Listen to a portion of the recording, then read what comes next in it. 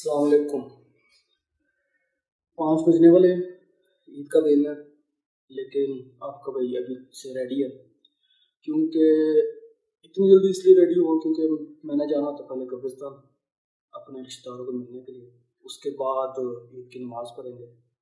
लेकिन ये वीडियो इसलिए बना रहा हूँ क्योंकि मैंने आपसे कुछ बातें करनी है। क्योंकि ये हर, ये वाली ईद हर ईद की तरह नहीं है। ये ईद मुख्तलिफ़ है।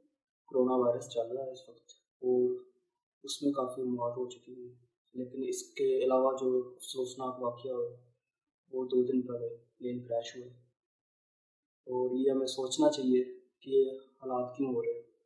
हमें अपने अल्लाह ताला से माफ़ी मांगनी चाहिए कि रमज़ान के दिनों में भी इस तरह के हादसा हो रहे हैं। इसकी कोई ज़रूर कोई ना कोई वजह। इस पर ख़ास तौर पर माफ़ी मांगनी चाहिए और ये ईद बिल्कुल सादगी से गुजारनी चाहिए। लेकिन फिर भी मैंने देखा है जैसे लॉकडाउन ओपन हुआ, हज़ारों की तादाद में बाज़ारों में रश डल गया ऐसे रश डाला कि जैसे उनके पास पहनने के लिए कोई सूट ही नहीं था घर तो आपके सामने हूँ मैं इस दफ़ा कोई ईद की शॉपिंग नहीं की। वैसे ही मेरी आदत है कि ईद की शॉपिंग मैं ख़ास तौर पर स्पेशल नहीं करता। लेकिन इसके अलावा ये हुआ कि चाँद रात पे कल जब एक तरफ़ दीन और एक तरफ़ साइंस आपस में दस्तों की रबान थी कि चाँद कौन दिखाएगा। तो उस दौरान मैं कल हॉस्पिटल में ब्लड डोनेट कर रहा अस्सलाम वालेकुम। मुनीर, क्या हाल है? खैरियत से? असल में मुनीर आपसे इसलिए कांटेक्ट में कर रही थी कॉल भी एक हमारी कैंसर पेशेंट हैं तो उनको एक पॉजिटिव चाहिए और उनको ना कैंसर है ब्लड कैंसर तो इसलिए आपकी खिदमत दरकार थी हमें तो काइंडली आप मुझे बताएँ कि आप कब अवेलेबल हैं, ताकि मैं उनसे रब्ता कर सकूँ।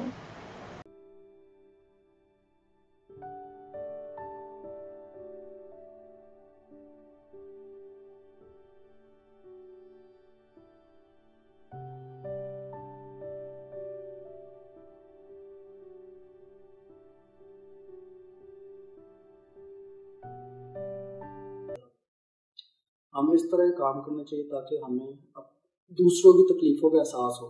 अब चाँद रात को मैं ब्लड डोनेट कर वो पेशेंट एक लेडी कैंसर की पेशेंट थी। अब सोचेंगे उनकी ईद किस तरह गुजरी होगी। तो बस ये कुछ बातें थी। इसके बाद हम रास्ते में मिलते हैं, कब्रिस्तान जाएँगे।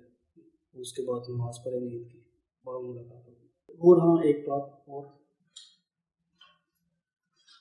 ये कार्ड है। कल जो मैंने ब्लड डोनेट किया है तो इनको भी अभी होल ब्लड की ज़रूरत है। ए पॉजिटिव मेरा ए पॉजिटिव था, जो मैंने कल डोनेट किया अगर किसी और का ए पॉजिटिव है और वो देना चाहता है, आज या कल में तो कमेंट्स में मुझे बताए।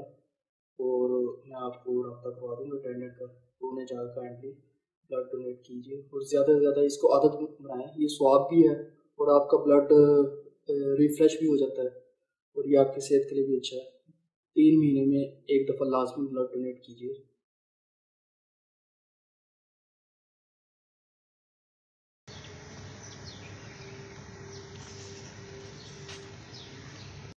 आइए मैं अपने एक, अपने जिगरी दोस्त से मिलवाता हूँ, जिससे मैं अक्सर मिलने आता रहता हूँ। महीने में एक दो बार तो ईद पर तो मैं स्पेशल इससे स्पेशली मिलने आता हूँ। वन एंड ओनली और ये है मेरा दोस्त मिलिए इससे ये Musa Dar one and only friend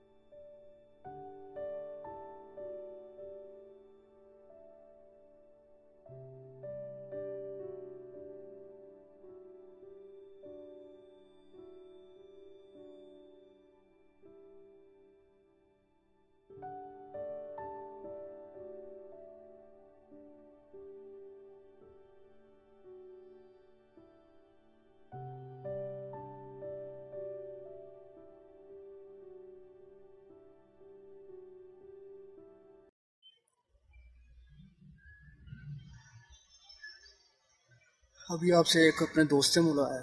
अब मैं आपको अपने बुज़ुर्गों से मिलवाने जा रहा हूँ।